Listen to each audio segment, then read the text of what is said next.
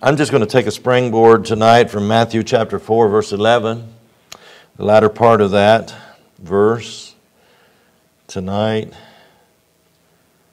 Talk to you a little bit about the fire of God.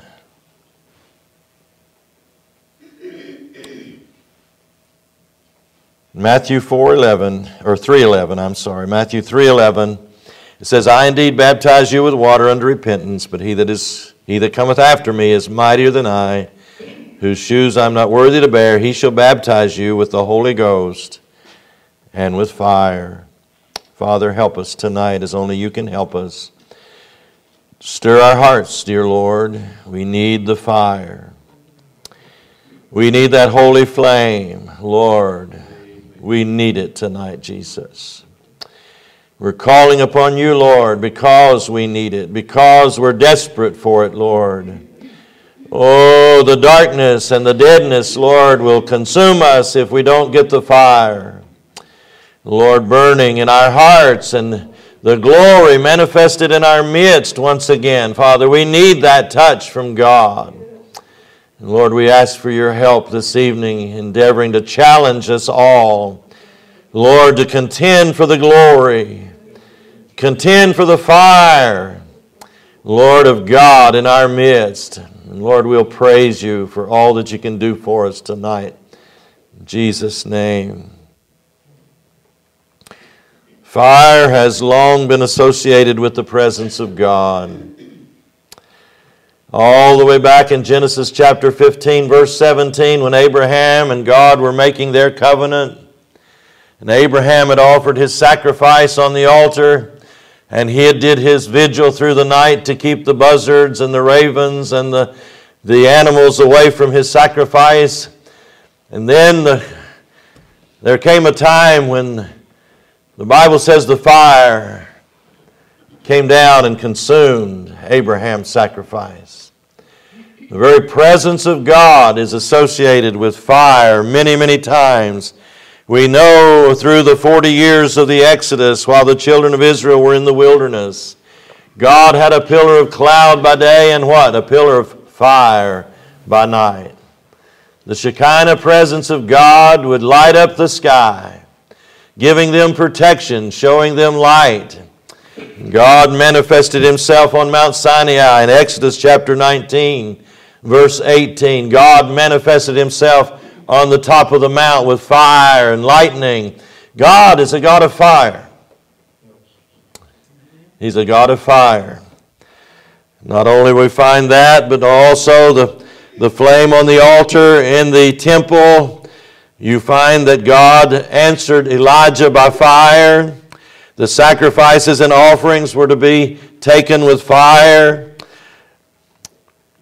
God has manifested himself down through time over and over and over. Even at the dedication of Solomon's temple, there was holy fire.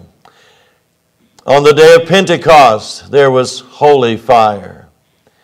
Cloven tongues of fire set on the head of each one of those 120 newly sanctified believers. And the fire ignited something within their heart. It ignited something within their soul. You know, fire produces energy. Fire produces energy, and we need that dynamic tonight, don't we? We need that dynamic in the church world. Now, it's, it's common sense, and reason tells me that you and I are not going to jump and hoop and holler like people do when they're 20. It's just common sense tells us that most of us are not going to be able to do that. But I believe, friend, that the fire can be burning all the way down to the end of our journey. And the enthusiasm and the excitement and the thrill of this thing can so possess us as to keep us in awe of His presence, keep us desirous of the glory. It's the glory that got a hold of my heart. Was it not the glory that touched your heart? Was it some dead, dry sermon? Was it a reading of the manual that got a hold of your heart? Was it the standards? And I believe in the standards. You know I do. I'm in favor of them. I'm 100% behind keeping them. But that's not what draws people.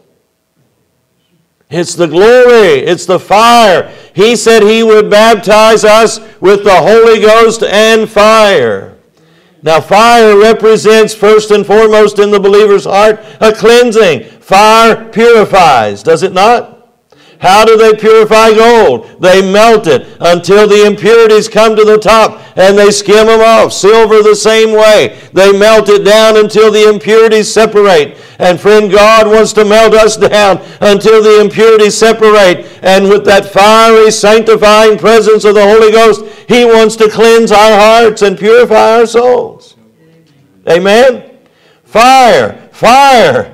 This is our plea tonight. We need fire. We need Holy Ghost fire. If we're going to have holiness, we're going to have to have fire.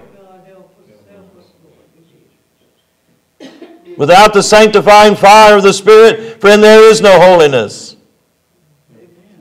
You can keep every rule in the book and not be holy. I said, how's that possible? Friend, because the heart is set on doing its own way and having its own way. It must be purified by the sanctifying flames of the Spirit of God.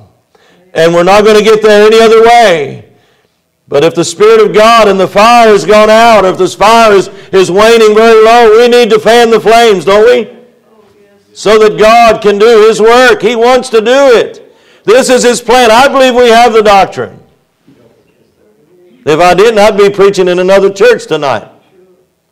If I didn't believe in entire sanctification as a second definite work of grace, I'd be preaching in a Baptist church somewhere tonight, probably.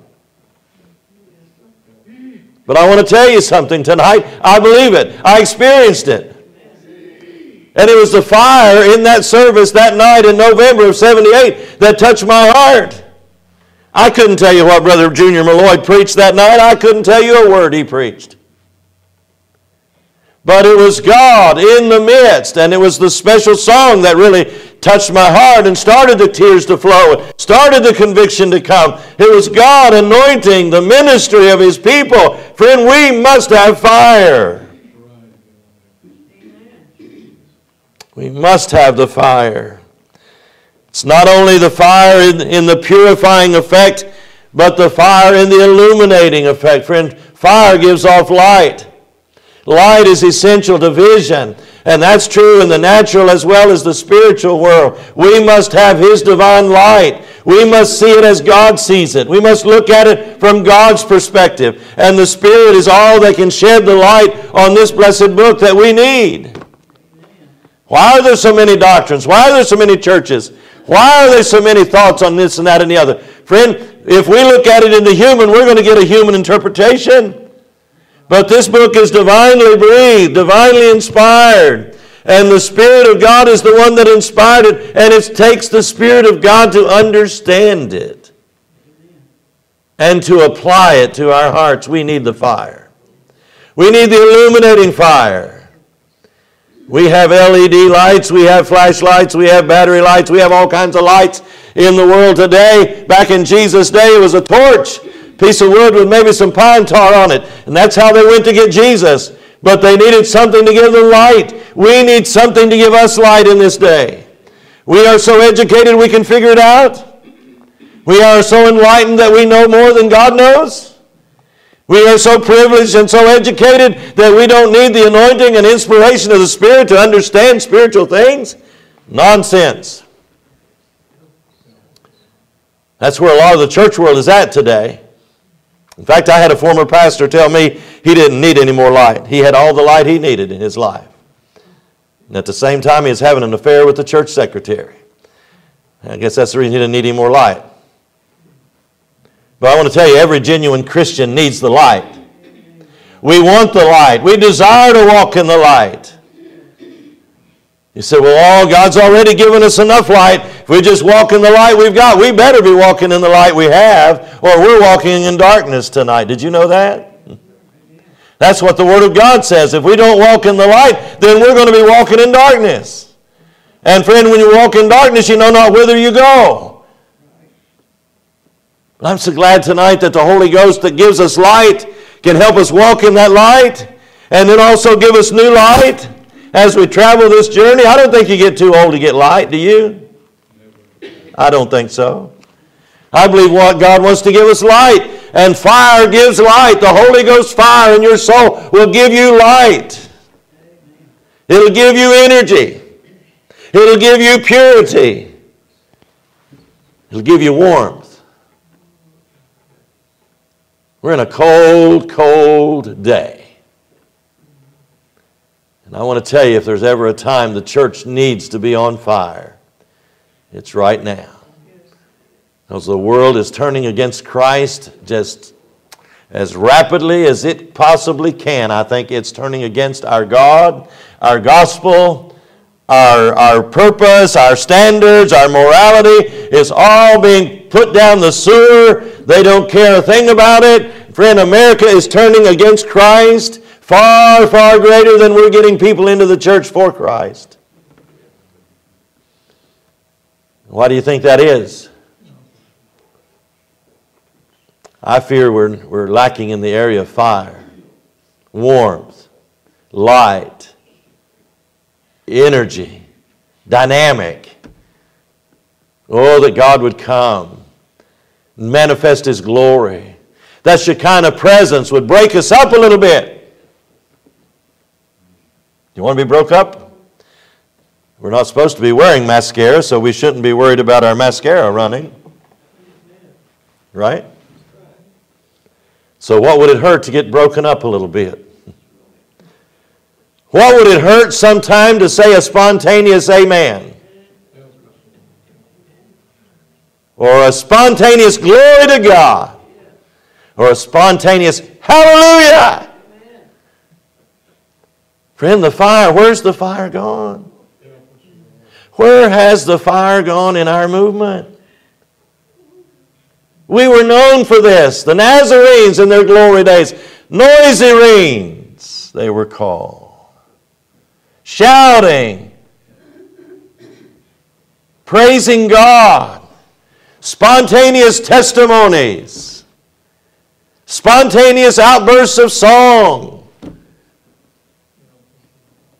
Oh God, we need the fire. We need the fire, folks. We need the fire. It's going to take the fire to bring revival. The fire represents His glory, His majesty, His presence. Fire was the emblem of Yahweh in His glory in Daniel chapter 7 and verse 9. If you read that, it talks about His throne was, was uh, like a blaze, it was a fire, it was a glory, it was burning. Then in Isaiah, we talk here about the tongues from off the altar, bringing the fire from off the altar to touch the prophet's lips. And it did something for him, did it not? It said, Your iniquities are cleansed and purged. And Isaiah began to hear, and Isaiah began to respond Here I am, Lord, send me. That's what the fire does. The fire will take away our sin. We see ourselves when we see the fire. We get a true estimation of where we are spiritually, and God's able to help us then when we do, when we really acknowledge where we are, God can help us. And then He touches us with that fire. And then we're a new man. We're wanting the things of God. We're eager for the things of God. Church is not a drudgery. Never revivals, camp meetings, prayer meetings, street meetings. My, now you're getting radical, preacher. We used to do all that. Cottage prayer meetings. When the fire's burning, the church is moving. When the fire is burning, the church is going forward. Friends, I, I beg of you tonight, and I am putting myself in line for this touch of God's fire. I want Him to give me a fresh touch of fire. I want Him to set me ablaze. If I'm the only one that says amen, let me say it anyway. If I'm the only one that shouts hallelujah, let me shout it anyway. If I'm the only one that takes a walk around the church for Jesus, let me take it anyway. I want the fire burning in my heart. I don't want the deadness to kill me, do you? I don't want the deadness to kill me. You know, we could stay in the freezer long enough to pretty soon be frozen, wouldn't we? God help us to thaw the freezer. God make us so hot that we'll thaw out those around us that might be a little cold. Lord, help us tonight. He said, This is nonsensical preaching. Well, you can mark it up for whatever you want.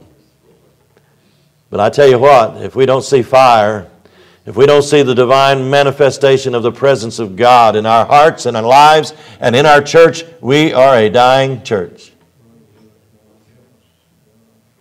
We need the fire. I must have the fire. I was born under the fire. I got in under Holy Ghost conviction. I got in under the blessings of God. I got in under that time where the Spirit of God was in such a way and such a measure present that everybody knew God was there when He showed up.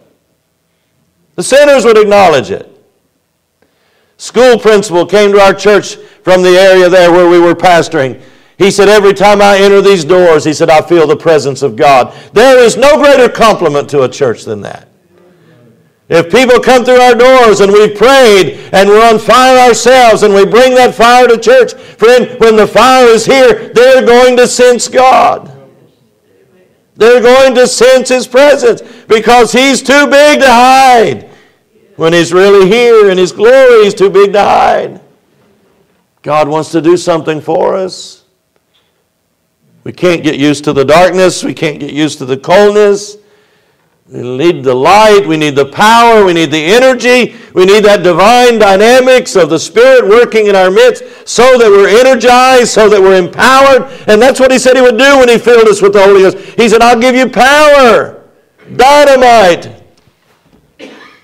Dunamis is the Greek word, our word for dynamite. I want the fire. I want the fire. I'm contending for the fire. I'm contending that God would touch my lips afresh and anew. Holy Ghost fire. God would touch our church afresh and anew. Holy Ghost fire.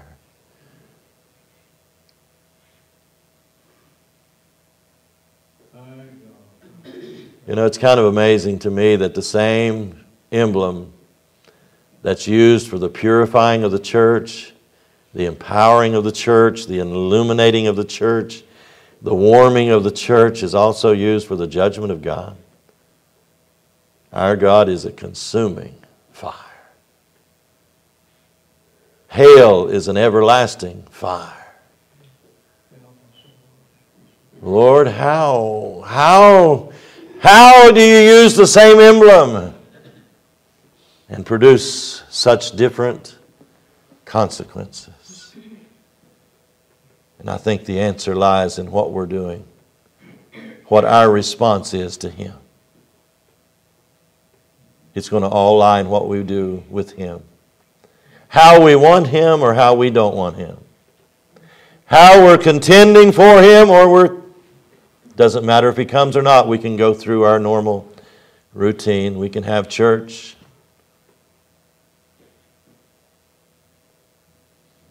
Are you content to have church?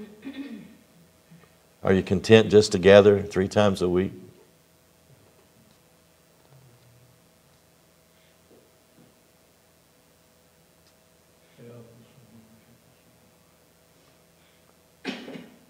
We're way too predictable, folks.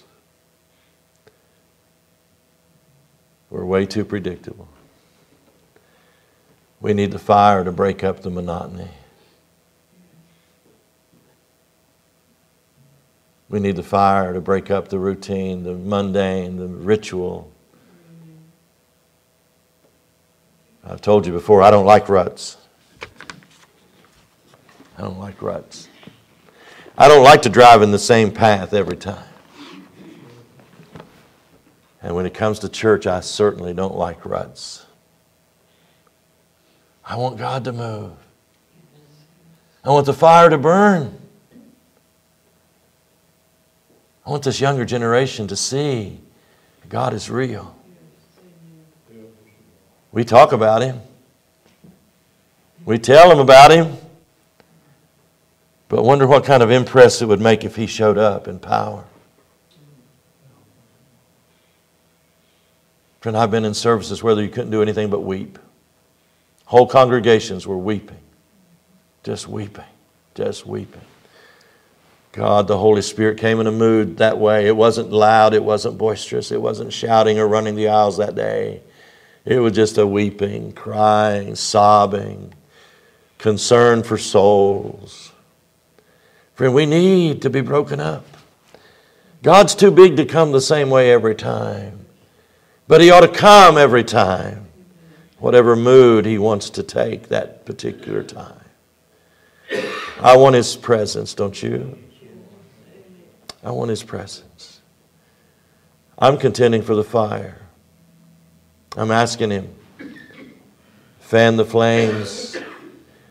You know, the, the fire in the, the seven candlestick menorah in the temple, the fire was never to go out. That candlestick was never to go out. That fire was to burn continually.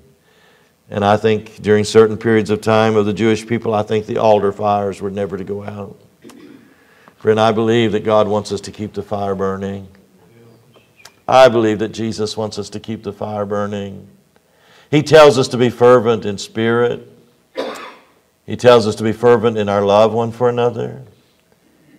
He tells us that the fervent, effectual prayer of a righteous person availeth much. Does he want us to be hot? Does he want us to be on fire? Fervent means hot. In fact, it means boiling hot. I want the fire, don't you? Shall we stand?